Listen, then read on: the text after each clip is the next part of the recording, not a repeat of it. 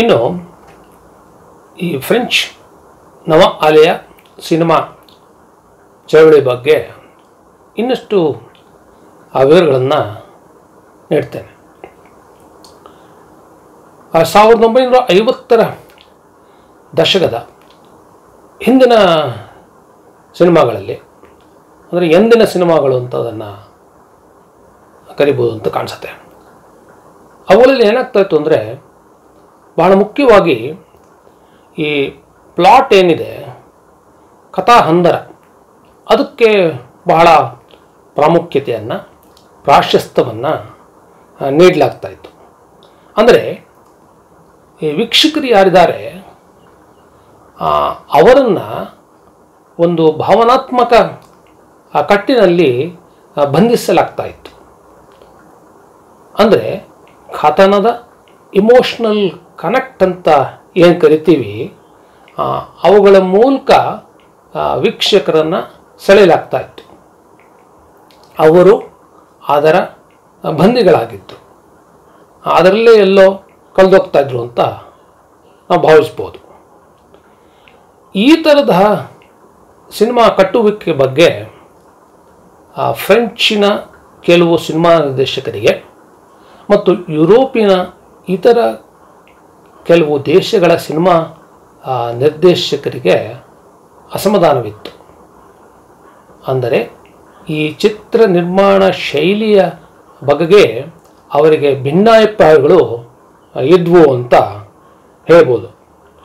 ಯಾಕಂದರೆ, ಅವರು ಏನು ಯೋಚಿಸ್ತಾ ಇದ್ರು ಅಂದರೆ, ನಾವು ವೀಕ್ಷಕರನ್ನು ಹೇಗೆ ಬೌದ್ಧಿಕವಾಗಿ ತಲುಪಬಹುದು, ಅವರನ್ನು ಯೋಚಿಸುವಂತೆ ಮಾಡಬಹುದು, ಅಥವಾ ಅಧ್ಯಯನಿಸುವಂತೆ ಮಾಡಬಹುದು. ಅಂತ ಅವರು ಯೋಚನಾ ಲಹರಿಯಲ್ಲಿ ಮುಳುಗಿದ್ರು. ಯಾಕಂದರೆ ನಮಗೆಲ್ಲ ತಿಳಿದಿರೋ ಹಾಗೆ ಪ್ರಾಥಮಿಕವಾಗಿ ಸಿನಿಮಾ ಒಂದು ದೃಶ್ಯ ಮಾಧ್ಯಮ. ಅದಕ್ಕೆ ಶ್ರವ್ಯ ಆಯಾಮವು ಕೂಡ ಇದೆ. ಸೊ ಇವುಗಳೆಲ್ಲದರ ಮೂಲಕ ಸಿನಿಮಾ ಭಾಷೆಯನ್ನು ಹೇಗೆ ದುಡಿಸ್ಕೊಳ್ಬೇಕು ಎನ್ನುವುದು ಅವರ ಆಶಯ, ಇರಾದೆ ಮತ್ತು ನಿಲುವಾಗಿ ನಿಲುವಾಗಿತ್ತು ಕೂಡ ಅಂತ ಹೇಳ್ಬೋದು. ಹೀಗಾಗಿ ಅವರು ಪ್ಲಾಟ್ನ ಬಗ್ಗೆ ಹೆಚ್ಚು ಪ್ರಾಶಸ್ತ್ಯವನ್ನು ಒತ್ತನ್ನು ನೀಡ್ತಾ ಇರಲಿಲ್ಲ. ಇಂತಹ ನಿರ್ದೇಶಕರ ಪೈಕಿ ಫ್ರೆಂಚ್ ನವ ಅಲೆಯ ನಿರ್ದೇಶಕರು ಕೂಡ ಇದ್ದರು ಅನ್ನೋದನ್ನು ನಾವು ಗಮನಿಸಬೇಕು. ಈ ಸಮಯದಲ್ಲೇ, ಆ ಫ್ರೆಂಚ್ ಸಿನಿಮಾ ರಂಗದಲ್ಲಿ ಆಟಿಯರ್ ತೀರಿ ಅನ್ನೋದು ಚಿಗುರುಡೆಯುತ್ತಿತ್ತು.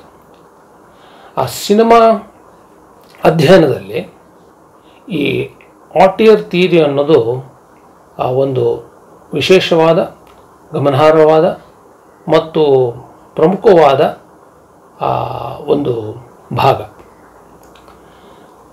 ಈ ಆಟಿಯರ್ ತೀರಿಗೂ ಮತ್ತು ಫ್ರೆಂಚ್ ನವ ಅಲೆಯ ಚಳುವಳಿ ಮತ್ತು ಸಿನಿಮಾಗಳಿಗೂ ಒಂದು ಅವಿನಾಭಾವ ನಿಕಟ, ಗಾಢ ಸಂಬಂಧವಿದೆ ಅಂತ ಹೇಳ್ಬೋದು.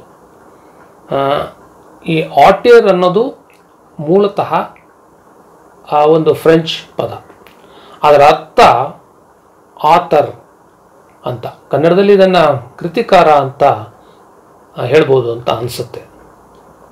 ನಮಗೆಲ್ಲ ತಿಳಿದಂತೆ, ಆ, ಸಿನಿಮಾದಲ್ಲಿ ಅನೇಕ ಘಟಕಗಳು ಇರುತ್ತವೆ ಛಾಯಾಚಿತ್ರಗ್ರಹಣ, ಅಂದರೆ ಸಿನಿಮಾಟೋಗ್ರಫಿ ಏಟಿಂಗ್ ಅಂದರೆ ಸಂಕಲನ, ಆರ್ಟ್ ಡಿಸೈನ್ ಮತ್ತು ಕಾಸ್ಟ್ಯೂಮ್ ಡಿಸೈನ್ ಸೌಂಡ್ಸ್ಕೇಪ್ ಡಿಸೈನ್ ಹೀಗೆ ಇನ್ನೂ ಹತ್ತು ಹಲವು ಘಟಕಗಳು ಇರುತ್ತವೆ. ಅಂದರೆ ಅದನ್ನು ಅವುಗಳನ್ನು ಕಾಂಪೊನೆಂಟ್ಸ್ ಅಂತ ಕೂಡ ಕರಿಬೋದು ನಾವು. ಅಂದರೆ ಸಿನಿಮಾದ, ಆ, ಒಟ್ಟು ಘಟಕಗಳೇನಿರುತ್ತವೆ, ಅವುಗಳ ಒಟ್ಟು ಮೊತ್ತದ ಕೆಲಸಗಳ ಫಲಶ್ರುತಿ ಸಿನಿಮಾ ಅಂತ ನಾವು ಅರ್ಥೈಸ್ಬೋದು. ಅಂದರೆ ಸಿನಿಮಾದ ಒಟ್ಟಂದಕ್ಕೆ ಈ ಘಟಕಗಳ ನಡುವೆ ಒಂದು ಸಮನ್ವಯತೆ ಇರಬೇಕು. ಹಾಗಾಗಿ ಹಾಗಿದ್ದರೆ ಮಾತ್ರ ಅದು ಒಂದು ಯಶಸ್ವಿ ಸಿನಿಮಾ ಅಂತ ಕರೆಸ್ಕೊಳ್ಳುತ್ತೆ. ಈ ಎಲ್ಲ ಘಟಕಗಳನ್ನು ನಿರ್ವಹಿಸ್ತಾರಲ್ಲ ಅವರ ಒಂದು ಟೀಮ್ ಇರುತ್ತೆ, ತಂಡ ಇರುತ್ತೆ. ಅದರ ನೇತೃತ್ವವನ್ನು, ವಹಿಸುವವನನ್ನು ನಿರ್ದೇಶಕ ಅಂತ ನಾವು ಕರಿಬೋದು. ಅಂದರೆ ಅವನು ಸಿನಿಮಾ ಮೂಲಕ ವೀಕ್ಷಕರಿಗೆ ಏನನ್ನು ದಾಟಿಸ್ಬೇಕು ಹೇಗೆ ದಾಟಿಸ್ಬೇಕು, ಈ ದಾಟಿಸುವಿಕೆಯನ್ನು ಅಥವಾ ಆ ಪ್ರಕ್ರಿಯೆಯಲ್ಲಿ ಸಿನಿಮಾ ಭಾಷೆ ಸಿನಿಮ್ಯಾಟಿಕ್ ಲ್ಯಾಂಗ್ವೇಜ್ ಅಂತ ನಾವೇನು ಕರಿತೀವಿ, ಅದನ್ನು ಹೇಗೆ ದುಡಿಸ್ಕೊಳ್ಬೇಕು ಎನ್ನುವ ಒಂದು ದೃಷ್ಟಿಯನ್ನು, ತತ್ವಶಾಸ್ತ್ರೀಯ ನೆಲೆಯಲ್ಲಿ ಅಥವಾ ತತ್ವಶಾಸ್ತ್ರದ ಒಂದು ನುಡಿಗಟ್ಟನ್ನು ಬಳಸೋದಾದರೆ ದರ್ಶನ ಅಂತ ಹೇಳ್ಬೋದು. ಅಂದರೆ ಒಬ್ಬ ನಿರ್ದೇಶಕನಿಗೆ ಆ ದರ್ಶನ ಇರಬೇಕಾಗತ್ತೆ. ಅಂದರೆ ಸಿನಿಮಾದ ಕಲಾತ್ಮಕ ಅಸ್ಮಿತೆಯ ನಿರ್ಮಾಣದಲ್ಲಿ ನಿರ್ದೇಶಕನದು ಒಂದು ಪ್ರಮುಖ ಪಾತ್ರ. ಸೊ ಇಂತಹ ನಿರ್ದೇಶಕನಿಗೆ ಆ ಸಿನಿಮಾ ಪರಿಭಾಷೆಯಲ್ಲಿ ಆಥರ್ ಅಂತ ಕರೀತಾರೆ. ಆ, ಬೇರೊಂದು ಪದದಲ್ಲಿ ಹೇಳಬೇಕಾದ್ರೆ ಆತನನ್ನು ಆಟಿಯರ್ ಅಂತ ಕರೀತಾರೆ. ಈ ಆಟಿಯರ್ಗೂ ಬೇರೆ ನಿರ್ದೇಶಕರಿಗೂ ಆ ವ್ಯತ್ಯಾಸಗಳಿರ್ತವೆ. ಅವು ಏನಂತ ನಾನು ಮುಂದೆ ತಿಳಿಸ್ತೇನೆ. ಇನ್ನು ಈ ಫ್ರೆಂಚ್ ನವ ಅಲೆಯ ಸಿನಿಮಾ ನಿರ್ದೇಶಕರ ಪೈಕಿ ಹಲವರು ಆಟೇರ್ಗಳು ಇದ್ದರು ಈಗಾಗಲೇ ನಾನು ತಿಳಿಸಿದಂತೆ ಈ ಕ್ಯಾಸ್ಡು ಸಿನಿಮಾದ ಕೋರ್ ನಿರ್ದೇಶಕರು ಯಾರಿದ್ರು? ಅವರು ಮತ್ತು ಲೆಫ್ಟ್ ಬ್ಯಾಂಕ್ ನಿರ್ದೇಶಕರು.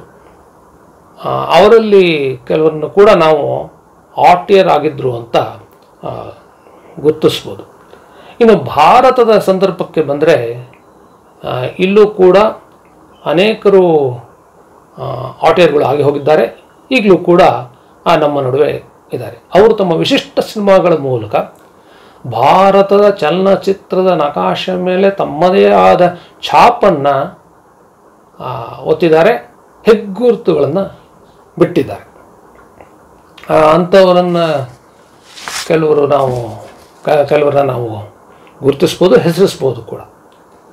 ಅವ್ರು ಯಾರಂದರೆ ಸತ್ಯಜಿತ್ರೆ ಮೃಣಾಲ್ ಸೆನ್ನು ಶ್ಯಾಮ್ ಬೆನಗಲ್ಲು ಋತ್ವಿಕ್ ಘಟಕ್ಕು ಅಡೂರ್ ಗೋಪಾಲಕೃಷ್ಣನ್ನು ಆಮೇಲೆ ಅಪರ್ಣಾ ಸೆನ್ನು ಮೀರಾ ನಾಯರು ಮತ್ತು ನಮ್ಮವರೇ ಆದ ಗಿರೀಶ್ ಕಾಸರೊಳ್ಳಿ ಹೀಗೆ ಇನ್ನೂ ಅನೇಕರು ಇದ್ದಾರೆ.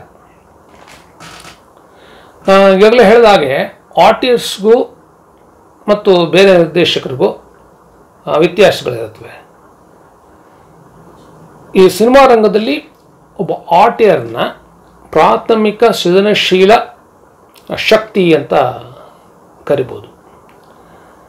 ಸಾಮಾನ್ಯವಾಗಿ ಆರ್ಟಿಸ್ಟ್ಗಳು ಏನು ಮಾಡ್ತಾರೆ ಅಂದರೆ, ತಾವು ಸಿನಿಮಾ ಮಾಡ್ತಾರಲ್ಲ, ಅಂದರೆ ಅವರು ಸಿನಿಮಾ ಮಾಡ್ತಾರಲ್ಲ ಅವುಗಳಲ್ಲಿ ಅವ್ರೇನು ಮಾಡಿರ್ತಾರೆ ಅಂದರೆ ಈ ಕಥನ ಏನಿದೆ, ಅದನ್ನು ಅವರೇ ಬರೆದಿರ್ತಾರೆ.